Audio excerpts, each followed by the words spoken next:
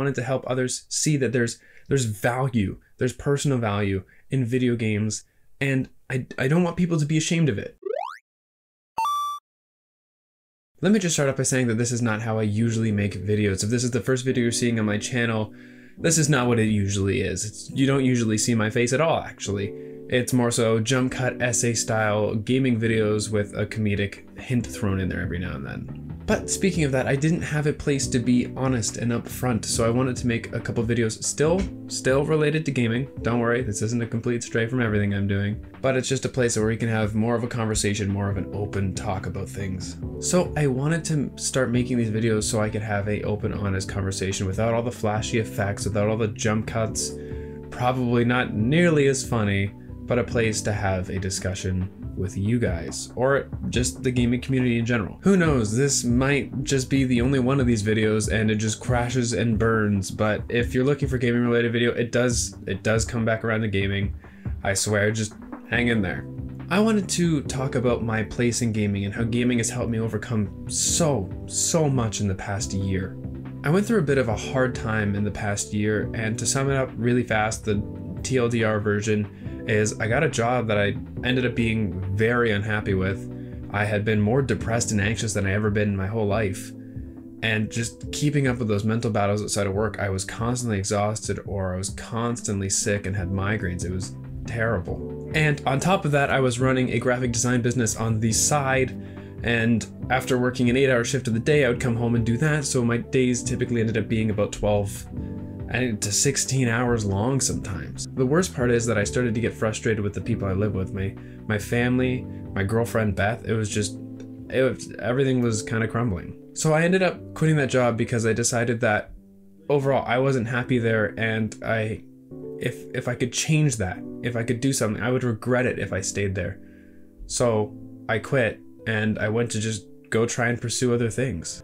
I, it sounds a bit hippie-ish, but I went on a journey of self-discovery in that time, reading books, uh, doing meditation, looking up different uh, natural medicines to take, uh, anything you could think of, I was doing it. But the most important one is that I started to play video games again for the first time in a long time. See, I, I told you this would come back around to gaming. Now, before I did this, I could hardly play four hours a week, like across the, the span of an entire week I could hardly play four hours, which seems insane for someone who's associated with like gaming culture because gaming culture is typically associated with people spending almost 10 to 20 hours a day playing video games. It's it's an addiction. People have rehabs for that, and I could hardly stomach playing four hours a week, sometimes less than that.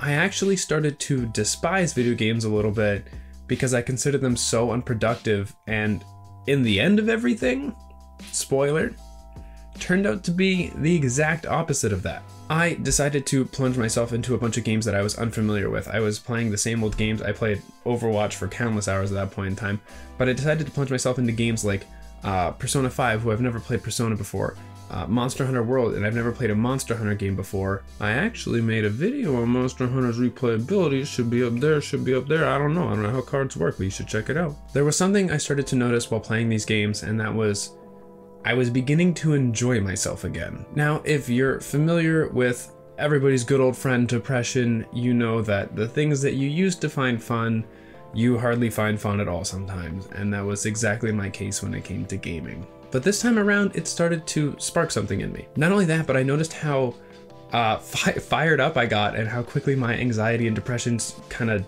dissipated and they went below the surface when I was in conversations talking about games, or if I was doing anything, really anything related to nerd culture, whether that's movies, um, gaming, writing, anything that revolved around that, I could have a healthy conversation with somebody and actually feel excited and feel all these emotions while having conversations about that. So after some help realizing something from my therapist, I chose to pursue that. I chose to embrace the fact that I was feeling something from this. I started to get a lot more involved in gaming, doing while playing more during the week, more than four hours at least, while I was trying to run my own graphic design business on the side.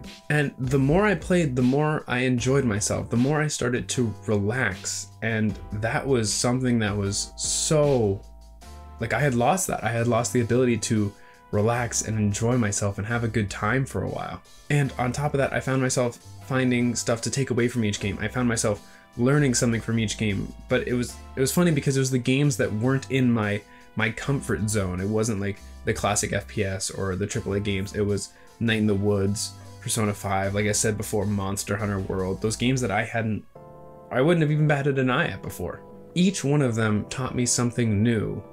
And that was it was something that I couldn't just I couldn't teach myself on my own. I couldn't just learn it through therapy and I certainly couldn't find that through medication. Video games were slowly but surely helping me fight the battle against my mental illnesses. That is exactly why I make these videos now. That's exactly why I make the essay videos. That's exactly why I'm making this video right now because I found a true, true passion, something that lit a fire in me and I wanted to chase that. I wanted to harness that. So I wanted to find a place in the gaming community, in the gaming industry, somewhere where I could be an active part of all of this. It took me a while and a couple failed attempts at essays, rants, reviews, opinion pieces, let's plays, streaming, anything under the gaming sun I tried it and more likely failed at it. it. It hit me when I was I was writing a blog post about Borderlands 3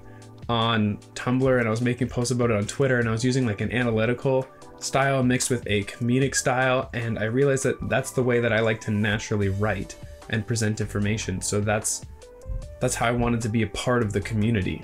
I wanted to start discussions. And that's what I plan on doing with these videos. I plan on creating videos that start discussions about games and how much I love unique certain pieces of each game and how each game deserves to be appreciated in its own certain way. Just like how I started to learn something new in every game that I played, I wanted to help others achieve that. I wanted to help others see that there's there's value, there's personal value in video games, and I, I don't want people to be ashamed of it because I know I was, and this really helped me overcome that. As long as you're not spending 10 hours a day pounding back Doritos and Mountain Dew, I think you're good. You don't really have anything to be ashamed of. Hello, people of the internet.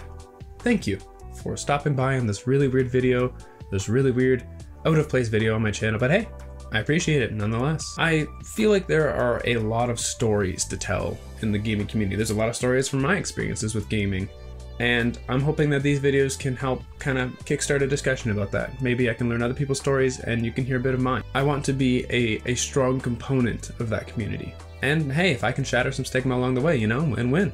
If you are interested in gaming videos, you might just like videos that aren't like this, that are usually on my channel, they're more opinion essay style formats, and you could go check them out over there, here, somewhere down below, up above, who knows. As always, hit the subscribe button if you want to hear more of my voice. Hit the like, the dislike button, let me know if you like or dislike it. It helps me so much when you guys let me know that stuff. Last but not least, hit that little notification bell thing down there somewhere it might just let you know if I upload a video. Sometimes works, sometimes doesn't. Who knows? Thank you again so much for watching. I love each and every one of you, and I will see you in the next video.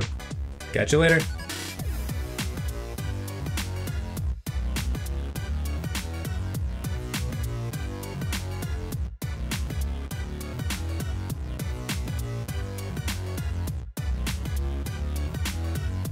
Hit the subscribe button if you want to see more of my voice. See more of my voice. That's just dumb.